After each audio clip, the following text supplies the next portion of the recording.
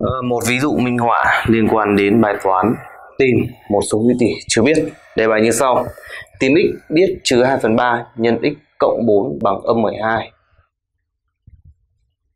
Quen quá đúng không? Từ lớp 3, à từ lớp 4 chúng ta đã làm những bài tập kiểu này rồi. Nhưng không sao, thầy vẫn nhắc lại. Bởi vì đây là ví dụ minh họa cơ bản mà. ta lần lượt chuyển về nhé. Chúng ta có là trừ 2 phần 3 nhân với x bằng trừ 12 trừ 12 trừ 4 trừ 12 trừ 4 bằng trừ 16 đúng chưa? Từ đây ta tìm được x bằng.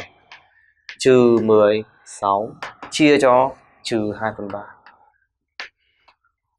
hay bằng trừ 16 nhân với 3 phần âm 2 để đây các bạn rút gọn. Trừ 16 chia âm 2 được 8 83 là 20 được chưa? 24 That's it. Yeah.